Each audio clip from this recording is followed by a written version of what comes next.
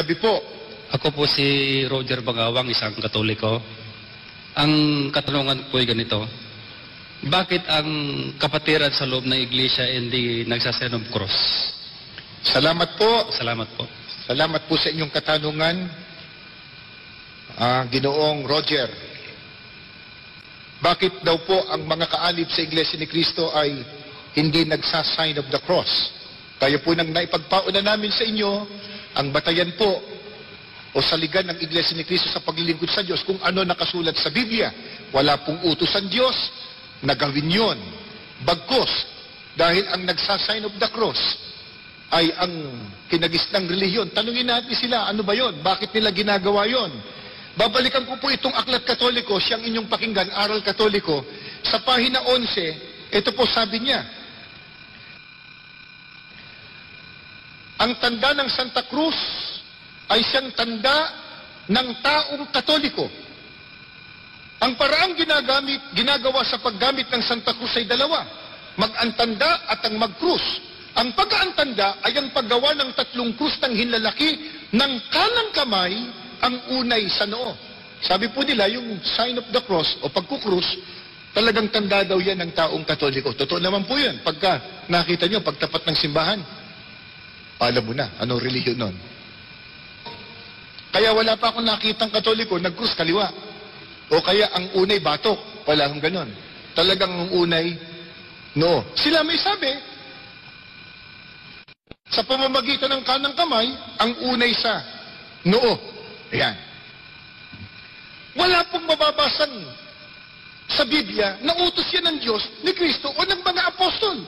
Bagkus kung meron po tayong mababasa, may tanda sa noo at saka sa kanang kamay, ano yun?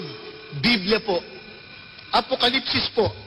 13. Ang talata po ay 14 at 16. At nadadaya niya ang mga nananahan sa lupa at ang lahat, maliliit at malalaki, at mayayaman at mga dukha, at ang mga laya at ang mga alipin, pinabigyan ng isang tanda sa kanilang kanang kamay o sa noo. Sa Biblia may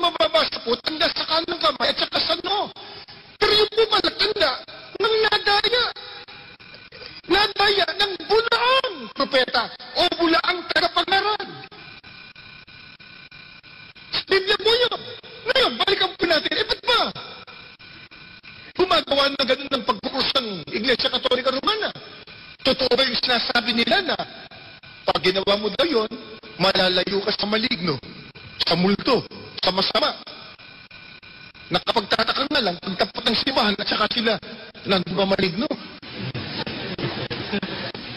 Hindi, nagtatanong lang naman ako kay Joel. Sama na ng tingin ni Joel sa akin. Hindi po. Eh, kasi sabi nila, para malayo sa maligno, sa multo, sa masama. Eh, bakit pagtapat nga ng simbahan, saka nagkukrus? Pero ito ho, ang babasahin ko pong aklat, kilalang kilala ninyo. Ito po yung pagbinasa ng kinagis ng relihiyon. Pag tinatawag nila mahal na araw, kinakanta. Ano po? Pasyon. Pasyon. Oh. Ipakakanta po natin kay kapatid na Joel.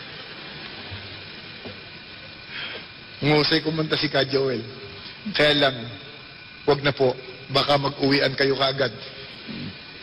Babasahin ko po sa pahina 207 itong pasyon na ang may akda po nito ay ang paring si Aniceto de la Merced El Libro de la Vida Historia Sagrada con Santas Reflexiones Doctrinas Morales para la Vida Cristiana ang sarap pakinggan ano ano ibig sabihin kaya nun babasahin ko na po ipag-uutos magkintal magantanda sa noo o kanang kamay sukat pagkakilalanan na sila nga ay kampong tunay nitong antikristong hunghang.